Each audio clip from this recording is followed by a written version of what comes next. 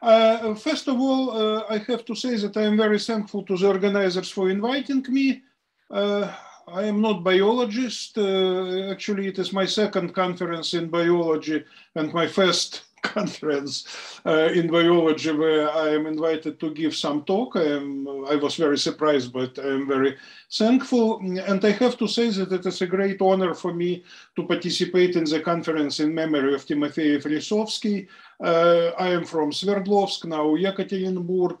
This is a city where Timofeyev um, Ressovsky was living and working after uh, his release um, from the prison, and uh, he was a kind of legend. Uh, and when I started my scientific activity, I had a lot of stories about him, and it is one of the names which I always pronounced with a huge respect. So again, I am very touched and very um, thankful to the organizers. So um, this is a brief, uh, brief uh, story about some kind of long already and big activity uh, in collaboration with many, many people. Uh, especially I should of course mention biologists, Eugene Koonin who is here and Yura Wolf, uh, but also with many physicists and mathematicians all over the world. Uh, but of course half an hour is not a long story. So I will try to give just basic idea. Let me start with something uh, hopefully funny, some kind of epigraph. Uh, and this is a famous motto by Ernst Rutherford, all science is either physics or stamp collection. And I can imagine that uh, Rutherford was not, an, was not an easy guy, and I can imagine that his initial uh, uh, idea was just uh, to tease and to offense uh, his colleagues. Uh, but his, he was genius, even these kind of things can be also considered as a kind of very deep statement with a lot of deep meaning.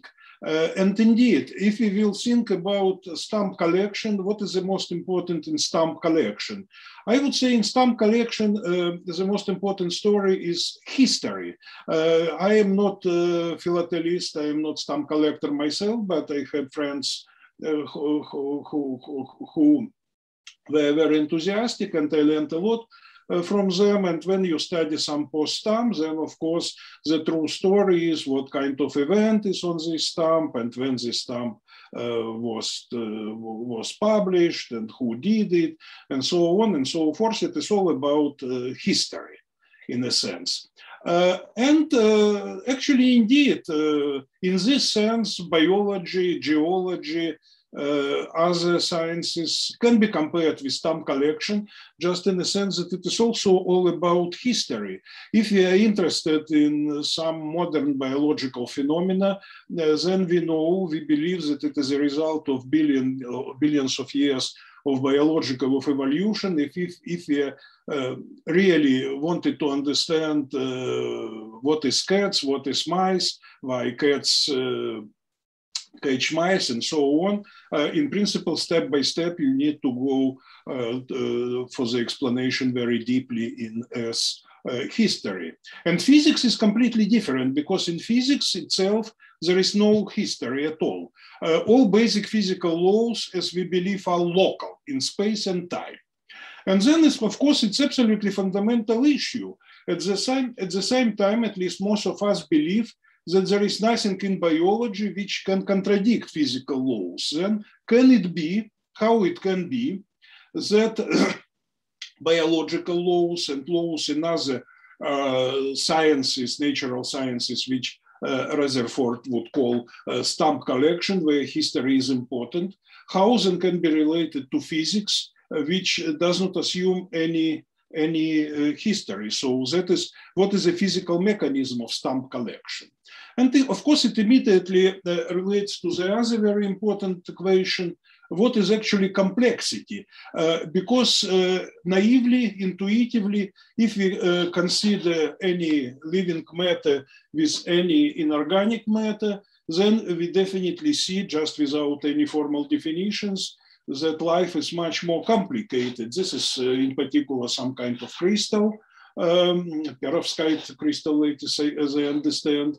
This is a kind of Mickey Mouse cartoon of some macromolecules, uh, and this is a kind of uh, maybe not so Mickey Mouse, but still uh, some simplified uh, cartoon of, on what happens in uh, biological cells. And indeed, you see that the level of complexity, the level of non-triviality, if you wish, uh, in structural sense grows when you go from physics to biology. And uh, Schrödinger, in his famous book, What is uh, Physics? Uh, sorry, What is Life from the Point of View of Physicists, um, called life substance is an aperiodic crystal. Uh, but uh, aperiodic crystal is a bit uh, too simple formulation, but in a sense it is in the right direction. But at the same time, if we are interested in complexities, then we can say that maybe, look, uh, before trying to solve the problem of biological complexity, you physicists uh, could try to, to say something about complexity in your own uh, science. And indeed, in the inorganic world, uh, we have some patterns, some pictures, which again, intuitively, I would uh, describe as complex uh, pictures. Very, very different origin. This is striped domains in ferromagnetics in films. This is what we, I will discuss in a bit more detail in my talk. This is just a picture which I made myself uh, just uh, at one of these Dutch, uh, Dutch islands, just stripes or, on a beach. Uh, in tide zone, you clearly see some pattern. Uh, this is uh, some kind of mesostructures in metallurgy, in steel, so-called pearlitic structure, which is extremely important for practical applications. Uh, of steel. Uh, in all these cases, we have something definitely much more complicated than just uh, standard crystal lattice. And then maybe as a first step, we would need to try to say something about complexity in inorganic world. And then very briefly, I will tell you about very few approaches. First, to explain complexity, and then to characterize complexity, I will not tell almost anything about biology. I will consider structural complexity in inorganic world from magnetic uh, patterns to say some art objects. And uh, my uh, main point uh, will be to emphasize the role of frustration, the role of uh, competing interaction uh, which uh, is the main prerequisite of complexity in physics and chemistry. And uh, together with Eugene Koonin and Yura Wolf, uh, we formulated a hypothesis that in some sense it is also the main prerequisite of biological complexity.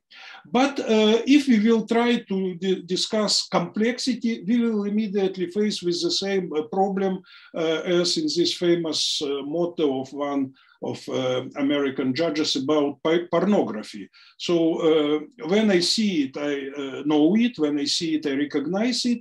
But at the same time, it's extremely difficult to give formal uh, definition of what is pornography, and it's uh, equally or more uh, difficult to give formal definition of what is complexity. In some recent review by Lloyd, um, he mentioned 40 different definitions of complexity, uh, Uh, and the list, as uh, it is emphasized in the title, and not uh, exhaustive.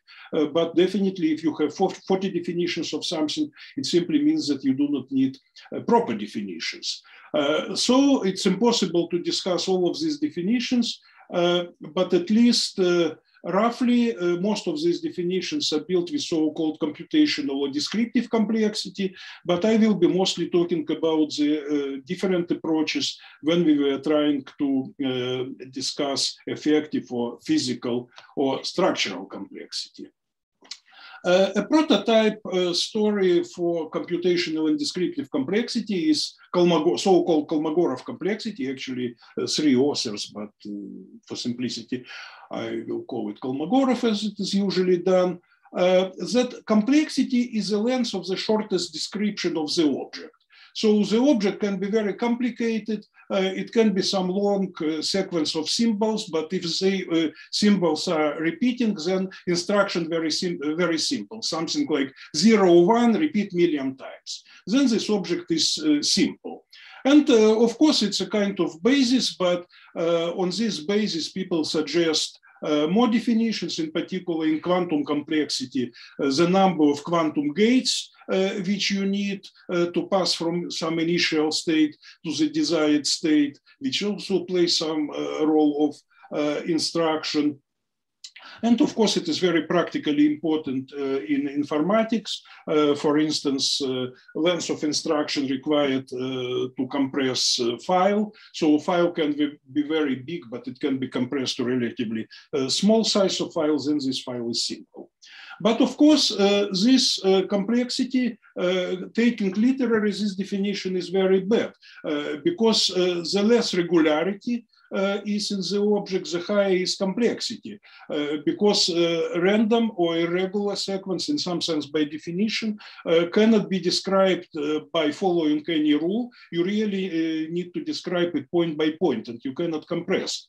on the other hand, definitely it is not what we intuitively consider as complexity. This is a kind of some pictures made by white noise by some random number generators, and this is of course, very bad, uh, bad copy, but nevertheless one of the most beautiful uh, and famous pictures in the history of painting, view of Delft, Vermeer, and intuitively even this poor copy looks like something much more complicated than this strange image, but nevertheless the number of pixels is equally more or less equal, and uh, actually here it is a bit smaller. So uh, just the length of instructions, the size of the file, um, which you need to describe the object is probably not a good definition. And uh, it, it becomes especially clear when you go to biology, because intuitively, okay, we can say what is, what is instruction for the biological objects. It is uh, just genome. Then you can say, aha, then probably biological uh, entities, biological beings, are more complex if they have longer genome. But uh, again, it can be true in some sense, but at least uh, uh, it is not what corresponds to our intuitive definition of complexity, uh, because we human, at least some of us, have ambitions to believe that we are more complex than some grass, but nevertheless, if you stupidly just uh, count the number of uh, nucleotide uh, pairs in our DNA and DNA of this plant, then comparison will be not, not in favor of humans. So probably again, the size of genome, size of instruction, uh, it is not about complexity. I do not uh, have time to develop this further, but there were many approaches uh, uh, to explain and to treat complexity from the point of view of uh, physics. And one of the most popular is related with the name of Per Bak and his collaborators, who claims that complexity is criticality, self-organized criticality.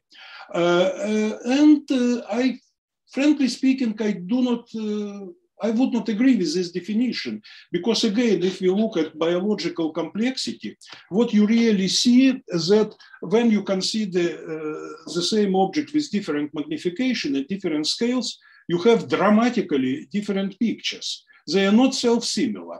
At the same time, self-similar uh, systems are by definition uh, uh, self-similar systems are by definition the same uh, at different scales. So again, it is not about complexity or at least about biological complexity.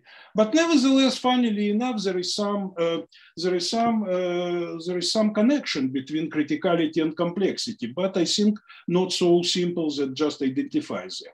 I need to, to say a few words about so-called holographic complexity. Um, actually, uh, uh, holography is just some new method in quantum field theory, in quantum many-body theory, which establish some deep formal relation between classical gravity, classical Einstein general relativity theory, and some quantum objects. Definitely, there is absolutely no time to discuss this. But what is very important um, that in holography, uh, it is very rare case in physics when you go beyond this pornographic uh, definition of complexity, when I see it, I know it, and when you can make some formal definitions. And there are even two such formal definitions, uh, both suggested by Susskind and co-workers, so-called complexity as volume and complexity as action.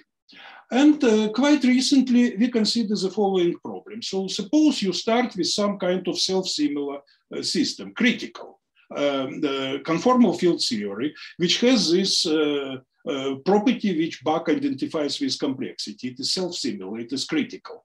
And then what we consider, we consider local quench. So you heat the system, you push a lot of energy into this system. It creates some waves propagating in the system, and then it will create some pattern, uh, and then you can calculate complexity of these patterns. Uh, and you can use both of these definitions, complexity as volume uh, and uh, complexity as action, and you find that it is a kind of good definitions, uh, in particular, that complexity, uh, uh, this complexity, complexity is, is, is, volume, it does not grow with entropy because as I said, naive uh, Kolmogorov definition means the more disordered system, the larger the entropy the larger is complexity. But here it is not, here it is better, you have some intermediate, then probably it's a good definition. And funnily enough, um, you can prove in this model that local quench produce the maximally possible increase in complexity. So in a sense, it means that uh, criticality itself is not complexity, but if you hit system in the criticality, self-similar, then it will produce uh, some complexity, uh, some complexity with a huge rate. And who knows, maybe it is related in some way to this heat, which is shown on this uh, picture uh, which every, every, everybody knows.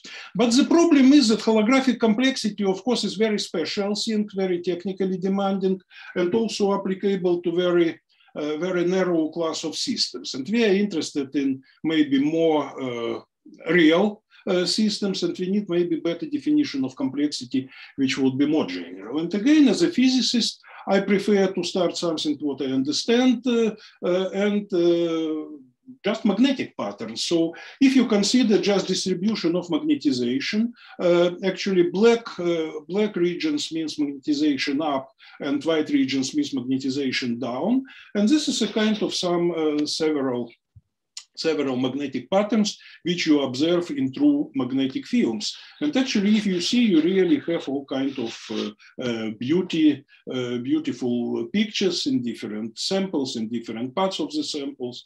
Uh, definitely, these pictures are characterized by different complexity.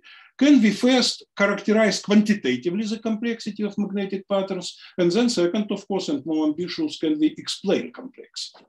What is very good about physics that uh, you know the Hamiltonian so-called, uh, you know the mathematical background. I can write just some expression for the total energy uh, and I can check I can solve mathematically what kind of patterns you can produce with this expression for so-called Hamiltonian, that is for the energy. Uh, and this is just the results of exact numerical simulation. And you see they are very similar. So we have Hamiltonian, we have the system. Uh, then we can study we can study uh, different patterns, but then we need to characterize complexity. And very recently, with uh, my friends and co-authors, from Yekaterinburg uh, and from my group in Nijmegen, uh, we suggested some definition, formal definition of structural complexity, which is in a sense complementary or even opposite to Bak's definition. So if Bak's, Bach claimed that complexity is criticality, then that is similarity, self-similarity. We try to define complexity as non uh, uh, dissimilarity, that we introduce some kind of coarse graining, uh, some kind of more rough description of initial object, and we will see how this rough description will be similar or dissimilar to initial description. And the more dissimilar is it, uh, the more complex is it. And so we have just formula, we can come calculate complexity, and we try to apply it to just to some uh, brick walls and to some artistic objects. Uh, the number is just complexity of these objects calculated. And I have to say that at least intuitively, it is not in contradiction with this so-called pornographic definition, right? I would say that pictures who intuitively would consider as more complicated have larger complexity. Then it's really funny uh, and very important uh, check uh, uh whether complexity uh, is the same as entropy or not. And then we just did experiment with theoreticians, but it is simple experiment. We did it. So we just put some uh, uh, ink uh, dye drop uh, in water and we see what happens and everybody knows what happens. It will be just uh, solution, right? And then intuitively, of course, uh, we, uh, we, believe that complexity is somewhere in between initial state and final state, but entropy grows simultaneously. But when we make these uh, high quality pictures and when we calculate our complexity, indeed, I would say that our definition of complexity is in agreement with our intuitive view. Then you can apply this complexity to real physical problems. Uh, in particular, calculating this complexity can be the way to find um, uh, phase transitions uh, uh, and related phenomena, but I do not have have uh, time to, to explain it, but just to give you an idea. The claim is that at least we have some procedure, very simple uh, to realize on computer, uh, very simple to be realized on computer to define complexity. And we did also recently generalization of this definition to quantum systems. Now the case is explanation. And when I will come back to these magnetic patterns, I cannot give complete uh, theory.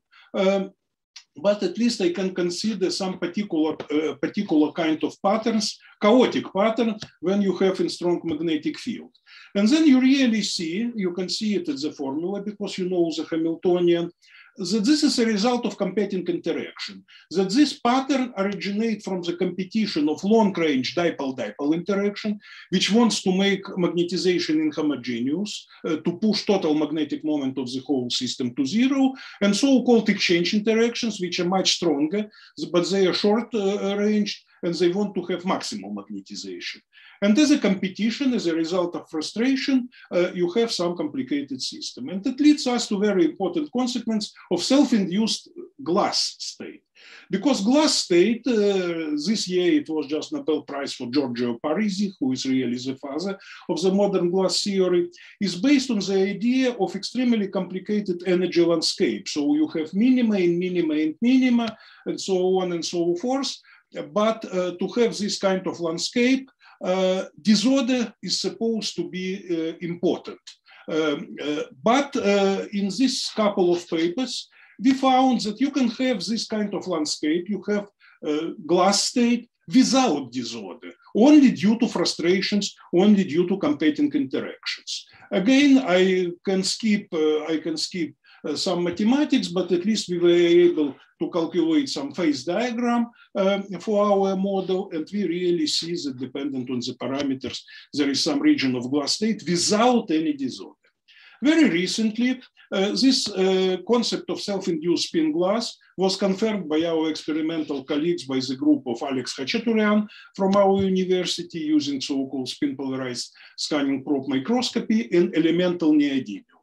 You clearly see that elemental neodymium has no uh, long range order at very low temperature. You can prove that it is very clear and uh, that uh, this disorder is not related to impurity. And most importantly, you can prove directly the existence of this complicated energy landscape uh, via phenomena aging. So when you go back and forth in temperature and in magnetic field, and experiment it is easier to do in magnetic field, you will never go exactly to the same minimum you will go to some neighboring minimum and then observed structure and properties will slowly change in time. And experimental, uh, uh, experimental observation of this uh, definitely shows that it is, uh, it is uh, the glass state. And again, we can make also theory. We have an approach which allows us to calculate uh, magnetic interactions from the first principles for a given system. And you see that these magnetic interactions are strongly frustrated. Some of them are positive, some of them are negative. And as a result, uh, uh, you can also study uh, computationally dynamics in this system, and you can really study that you have exactly the same dynamics like in prototype spin glass systems, but in prototype spin glass, you have disorder, and here you do not have disorder. And aging means history, aging means memory. Of course, it is much, much, much simpler than any biological system, but at least we were able to demonstrate, both experimentally and theoretically, that in very simple physical systems, you can have origin of memory from frustrations, from frustrated interactions. Then, uh, as I mentioned, with our colleagues, we formulated a hypothesis uh, uh, that actually this uh, actually these frustrations, these competing interactions at different scales is something which can explain from some very general view also biological complexity. It looks very simple, but nevertheless, again, I would not dare to discuss bio biological applications of this work, uh, but at least it seems that it can be uh, it can be some uh, reasonable uh, reasonable arguments that we know in physics that frustrations. You have five minutes. Yeah, thanks. Uh, the only reason of complexity, but we can speculate and we can uh, suggest and we can discuss that it is in um, it is also in biology. Actually, I am finishing. Uh, so uh, I think uh, in our physics attempts in physics and chemistry to understand complexity, we are a kind of change of paradigm because everybody probably heard about uh, Ilya Prigogine, about synergetics, about catastrophe theory, and so on. there were some development very popular uh, I would say from 60s to 80s, uh, and Ilya Prigogine even received Nobel Prize, uh, which associated complexity with properties of dynamical systems. Uh, but frankly speaking, I do not think that uh, by this way you can go far enough, and definitely biological systems are too dissimilar to this uh, simple periodic patterns, like in these uh, convection cells or this uh, Belousov Zhabotinsky chemical reaction and so on. Frankly speaking, I am not very enthusiastic about this way. But now we have another way, and Giorgio Parisi, who is really the father uh, of this direction, just received Nobel Prize for the formulation, for the discovery of interplay of disorder and fluctuations, uh, which leads to complexity. And by the way, our contribution is that we have shown that disorder sometimes not, is not necessary, just competing interactions is enough. And then we have different keywords like emergence, renormalization group, universality class, spin glass, broken replica symmetry, frustrations, and so on and so forth. But at least currently, uh, I have, and some other people have some hope that maybe uh, following this way, we can deeply understand complexity in physics and maybe even with some interesting consequences for biology. Will it all help us or not? Who knows? And the only thing uh, which we can decide let's think together, all physicists, biologists, discuss, uh, and um, probably we will be able to understand um, at the very end how histor historical sciences, biology, can safely coexist with uh, fundamental, say, phys uh, physical laws which do not assume any uh, theory which is local. But the problem is still not solved. We are just in the very beginning, but I believe that some uh, first steps are very promising. Uh, many thanks for your attention. That's all.